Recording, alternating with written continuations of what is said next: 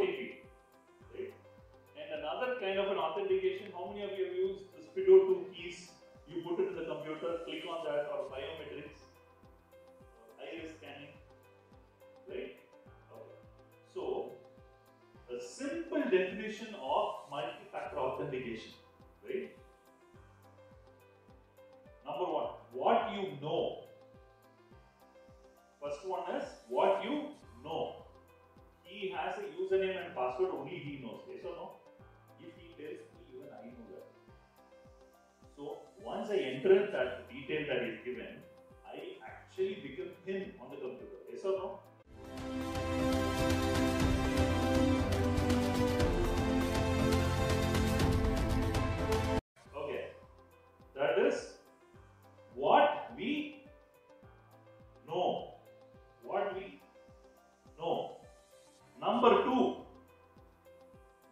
we have.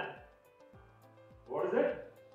What we have. அப்படின்னா என்ன? ஒரு ஓடிபி உங்களுக்கு வருது. You having it right you are entering in this is the second layer first layer it's just in your head user name password if you give that I will be able to log in so இது தவிர இன்னொன்று ஒரு layer தான். Second layer தான். What you have I clear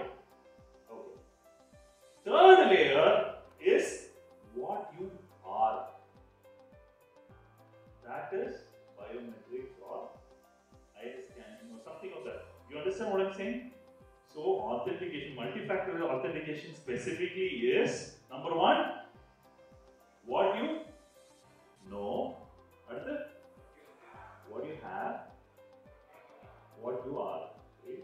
see he has a username password which he knows if i get it i also know if i share with 100 people they all know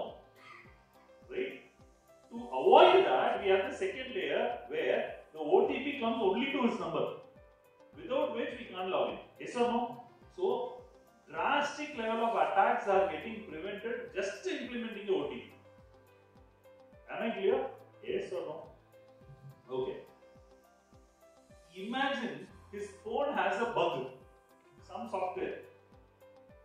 So any SMS that's coming to me, I have a copy of it. Imagine that. Right? In that case,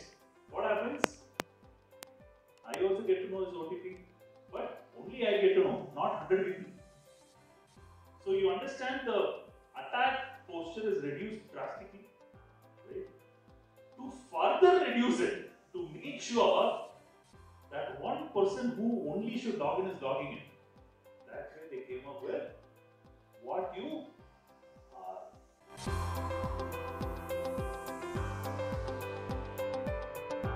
Thanks for watching. Don't forget to subscribe for more tech insights on cybersecurity.